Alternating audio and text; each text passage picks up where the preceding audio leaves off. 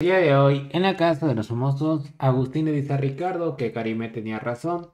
Uno a uno los irán eliminando y que esto ya es una constante. Básicamente cada semana se irá alguien de tierra y le dice lo que es Agustín a Ricardo. ¿Seremos tan odiados?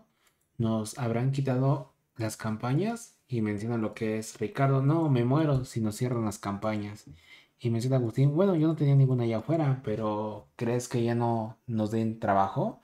Porque la chamba es la chamba. Y Ricardo menciona, no, no creo que seamos tan odiados. Simplemente ya es predecible el juego. Es evidente que la gente quiere amar.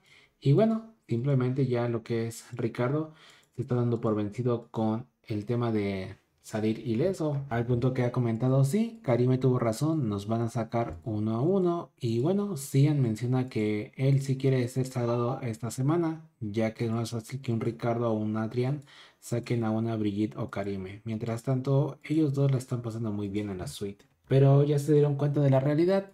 Sí, este es el fin del tierra, fin para cada integrante. Y además de esto, sin gomita ya las cosas están más tranquilas como que poco a poco se va limpiando la casa y ya no se siente tan pesada. Ahora que están cuatro hombres, directamente sí, los van a sacar, como lo dijo Agustín. No, es que este proyecto no lo gana un hombre.